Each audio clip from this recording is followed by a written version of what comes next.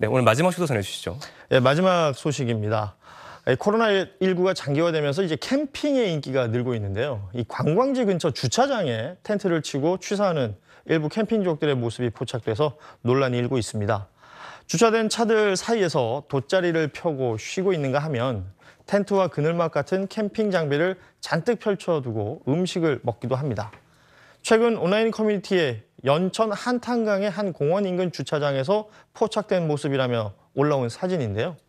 글쓴이는 목적이 공원이라서 주차만 하고 싶은데 주차장에서 캠핑을 즐기는 이들 때문에 자리가 없어서 갓길에 주차를 했고 또 입구를 막고 있거나 심지어 장애인 전용 주차구역에도 세 팀 정도가 보였다고 당시 상황을 설명했습니다.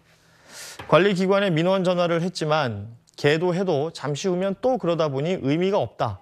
단속해도 벌금이 있는 것도 아니다라는 답변을 들었다며 아쉬움을 토로하기도 했습니다. 코로나 이후에 캠핑을 즐기는 사람들이 많아지면서 이와 비슷한 사례가 온라인 커뮤니티에 꾸준히 올라오고 있는데요.